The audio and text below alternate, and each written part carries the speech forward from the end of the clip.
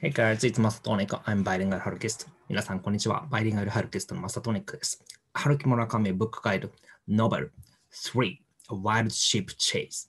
So, in this video, I'd like to talk about one of very famous and popular Murakami's novel, A Wild Sheep Chase, in Japanese title.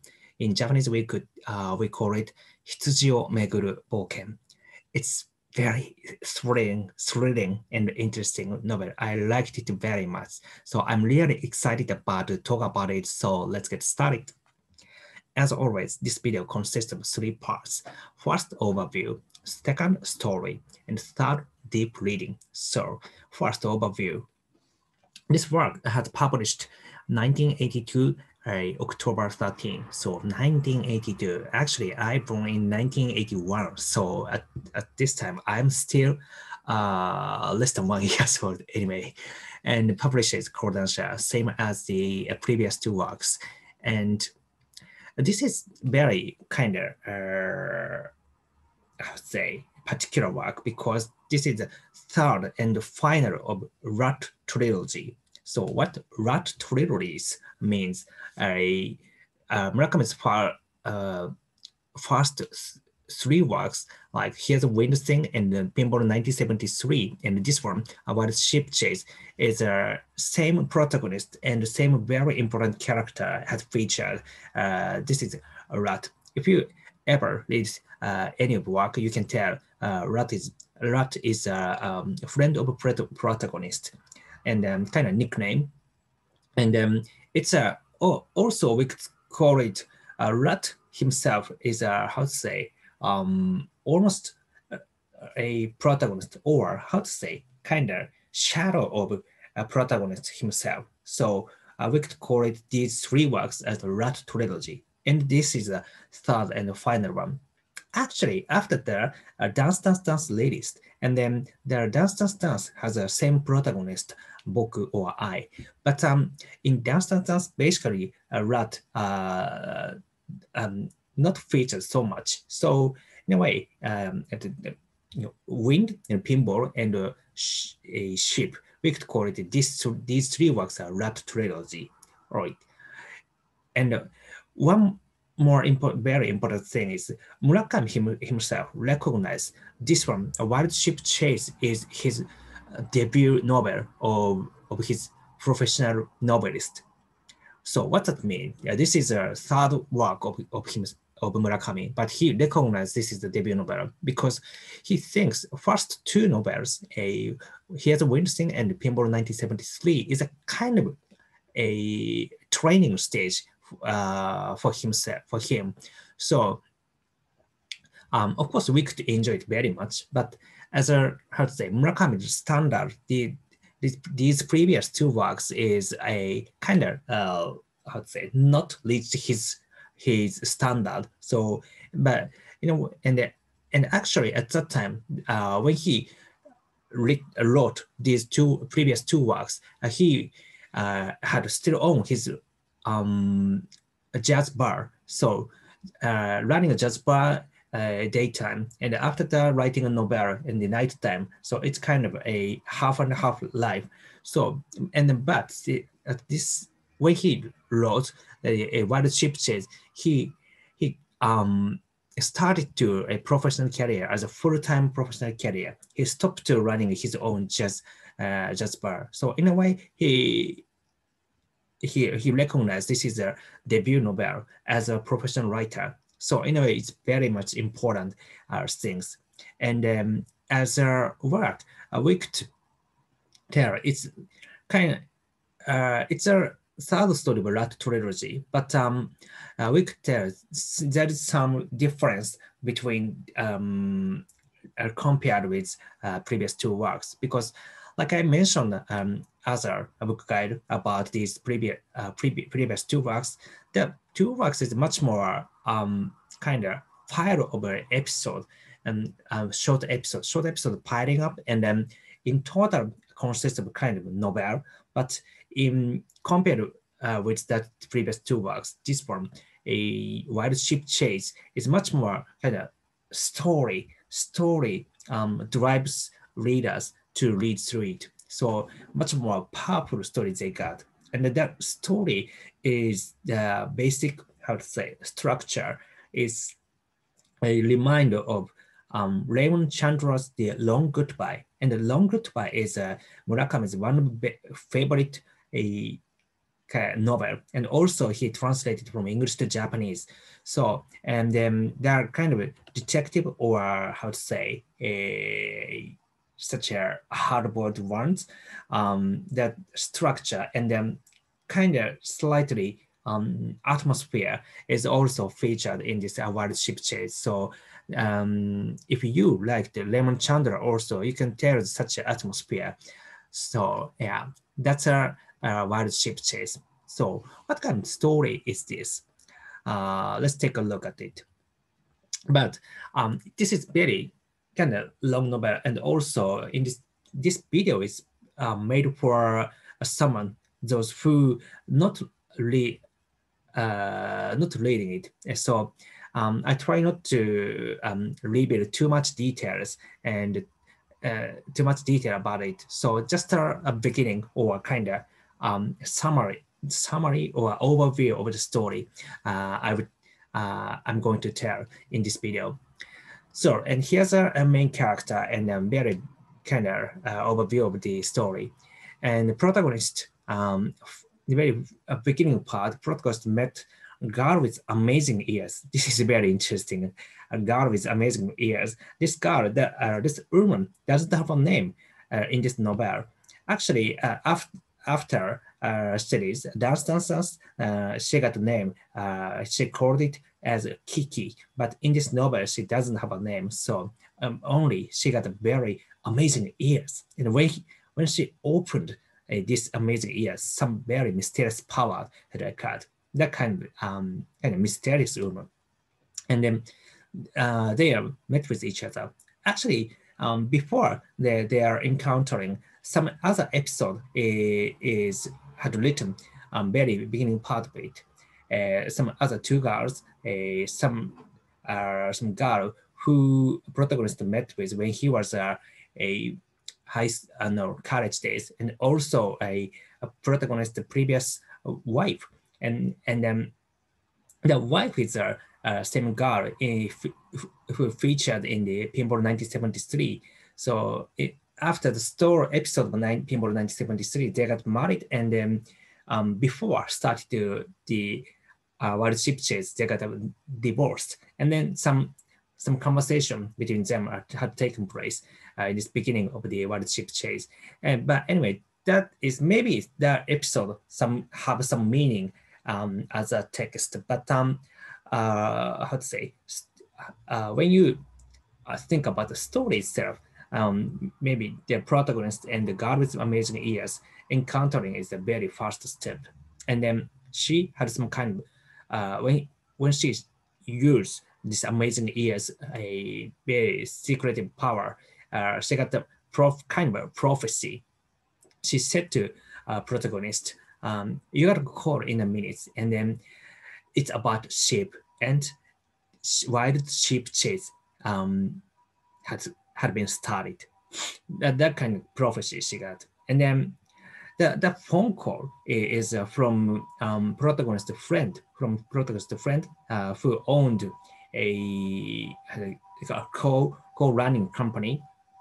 And uh, and he he talking about a very strange person, man in the black suit, so man in black or man in black, and then he he hired he worked for a very a super powerful person, kind of politician or we could call it a politician or such a the right wing type of politician, but um, uh, much more uh, much more power he had. Uh, in in novel, he got the power who who ruled a Japanese society from the backside, such kind of a very powerful person. Uh, with, uh, in, in Nobel, they, he called it as boss. And then and the man in the black suit worked for him. And then that kind of very uh, powerful person uh, uh, came visit to protagonist and uh, his friend's office. And then he, he want to meet uh, protagonist and then and before he come, he's returning, the um, the friends uh, told his, his story to the protagonist, and their story is very, very, um, how to say, very much interesting because it's how to say uh, that that is the beginning of wild sheep chase. The reason why mine the black suit uh, visited their office is um, as a request of, or from the boss. A man in the black suit always searching for some special ship who had a, a black star on on his back, and then the the ship had a very special power. Maybe that special power uh, gave boss the, such a superpower, and then mind the black suit try to find that that ship, but um, uh, they over years or decades, he, he can't uh, find that, that ship, but uh, and finally he found some uh, some hint, and that, that hint is a um, photograph who uh, which is used for some insurance companies, PR magazine, and then that that PR magazine is um, protagonist and protagonist had make it, and then their photo, particular photo which featured ship is is a photo uh, protagonist uh, had, had given from rat. So actually they rat um, send protagonist to some letters and with, with some letters, uh, some kind of rat's personal story is talking about. And then also he had some request, few requests. And then within that request is uh, using this shipped photo uh, into the public. And then um, some unknown reason, uh, he, a protagonist, uh, used the uh, ship, ship photo as a PR magazine, in the PR magazine. And then Mind the Black Suit find it, find it. And then he, he think this is a ship which him and also his boss uh, try to find over decades. So, and that's why he visited their office and uh, they, he wants to meet uh, protagonist. And then uh, I, I, like, I, I received their uh, request and then hey, actually I have no choice but um, how to say, uh, accept his offer. And his offer is um, let uh, he wants uh, he forced to protagonist to find that ship he, um, itself and then, eh, of course, protagonists have a kind of hint because the, the ship's photo is sent from uh, sent from rat. So maybe try to find rat eh, is a one, how to say, uh, one one way, and uh, that ship is uh, apparently a, exists in the Hokkaido. So that's the beginning of the wild sheep chase, and also adventure to Hokkaido, searching for the ship, and ship with with black star. So that's a kind of that's a kind of beginning of the story. And then after that, adventure uh, had been told. And like I mentioned, um, this work is written in a kind of style of a detective type of story. So um, in the end, some hidden truths had been found by protagonist. And then there are kind of some, how to say, some ending this story had uh, had concluded to some ending. The, the part is very much interesting and the whole part is very, um, very interesting to read. Maybe um, reader uh, can't stop uh, turning page on because one reason the story is very much attractive and also they got featured very interesting uh, character like this the Sheep Professor and also Sheep Man because this is a, a story about ship. So there are so many characters related to ship, especially this one, the Sheep Man, is uh, first appeared in this novel. And after that, in Dance Stance or any other Murakami novel, this, this Sheep Man has featured. And then one thing very interesting about Sheep Man is uh, he appeared in this novel uh, with his illust illustration and that illustration is written by Murakami himself. The Sheep Man's illustration is very much um, kind, kind of cute and then very much interesting. So if you never checked the Sheep Man, you you worth reading or just simply Google it. You can you can find it on, on Google maybe. And then but still yeah, uh, it's worth to what the Sheep Man is all about. So that kind of story is story. All right. So how should we enjoy it? A deep reading or kind of reading tips um, from me uh, I got some list of how to enjoy more deeply, and uh, uh, each uh, kind of how to say each action uh, I I rate some kind of level. And first, level one, enjoy the story itself. Like I mentioned too many so many times, it's very interesting story, but still it's kind of difficult to interpret. I think but still, without such a difficult interpretation or such a more kind of deep reading, you can enjoy it just the story itself. So level one is just enjoy it, read, read, enjoy, and uh, and finish it, and oh, uh, I'm going to and satisfied. That is very uh, how to say um, that itself is very much fun. So first recommended just enjoy the story. And level two, cooking the meal, which protagonist had made at Rat House. So as same as another uh, Murakami's uh, novel, protagonist uh, um, cooked, cooked very well. So, and then uh, he cooked so many, uh, how to say, kind of nice um, food by cook himself. So maybe try to imitate he, that his recipe it's very much interesting way uh, using, uh, how to say, kind of five senses to enjoy the novel. So, and then level three, wrap up. What the wild sheep chase is all about. So maybe you might think how these level one, level three thing is different because enjoying the story itself is not so difficult, just enjoying it. But um, actually this story is very complicated and then to be honest, I'm not 100% grasp what, what this story is all about in the end. Because some, like I mentioned, very um, ending part, some hidden truths have been found by protagonists and of course by readers, but still, how each person's intention, what the, each person's intention is, and then in the end, what is this story is a little bit difficult to um, understand it's it's same as Chandler's uh, novels. Some Chandler's novels very uh, plot is very complicated. It's same as here. So let's think about and the wrap up is very kind much deep. Uh, one way to deep very uh, one way to read very deeply, right? So here's a level three, and also level three, and play Airmail Special by guitar. One part one part of the story protagonist um, had started to practice a guitar and then to, to perform uh, Airmail Special, uh, which is a Benny Goodman's jazz a music.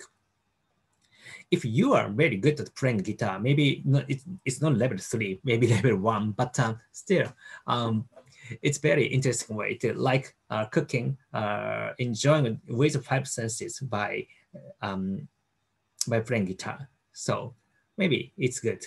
I mean, maybe you can tell what's the um, protagonist feeling at that time. You can tell. You might tell.